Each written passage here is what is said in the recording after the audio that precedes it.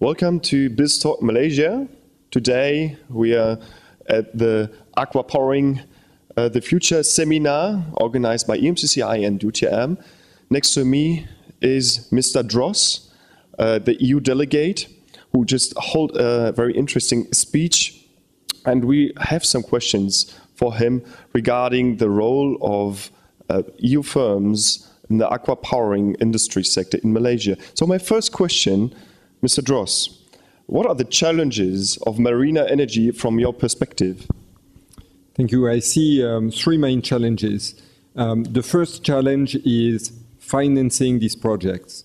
Uh, we are in an environment where this technology is new, there is a lot of uncertainty, and there are high cost of investment. So the first challenge is to be sure that good projects can find the right financing. The second challenge is the environment challenge. Yes, we want to produce ocean energy. We believe that this is good for sustainability, but at the same time, we want to make sure that this is not damaging the ma marine environment. And for this, we want to do sustainable impact assessment in order to make sure that this technology is good for the environment. And then the third challenge is the technology. This is a technology that is quite recent.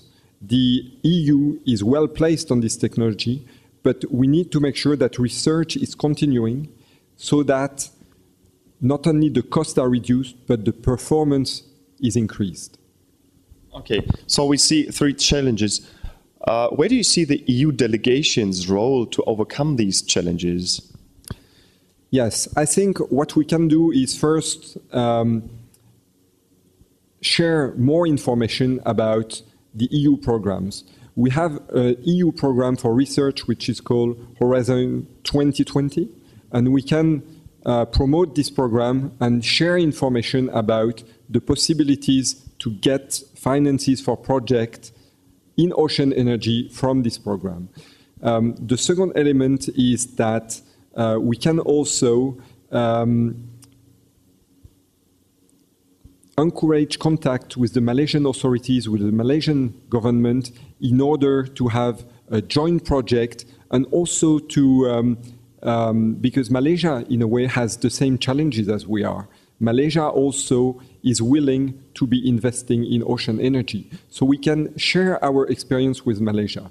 We have just gone through a process which took us two years um, and which enables through a private forum to have a roadmap that will not be now be studied by the EU institutions. So we can share with Malaysia our experience in order to facilitate the development of ocean energies in Malaysia. Okay, that's very nice to hear that also you see synergies and uh, that you can support uh, Malaysian companies to access European fundings as the Horizon 2020. Our final question is, where do you see the strengths and the role of EU firms outside of Europe regarding the uh, aqua powering uh, industry, in this case Malaysia? Yes, thank you. I think the EU firms are very well placed on the global market for ocean energy. Um, our estimate is that half of the firms in um, tidal and wave energy come from Europe. This is one of the great assets of Europe. This is where Europe has a leading technology, and this is where Europe can really uh, help through partnership the development of this ocean energy in Malaysia. Okay, that's uh, very interesting. So we have a lot of uh, European companies which are interesting for the Malaysian market. Thank you very much, Mr. Dross. Thank you. Uh, I hope you enjoy the seminar and hope to see you soon. Thank okay. You.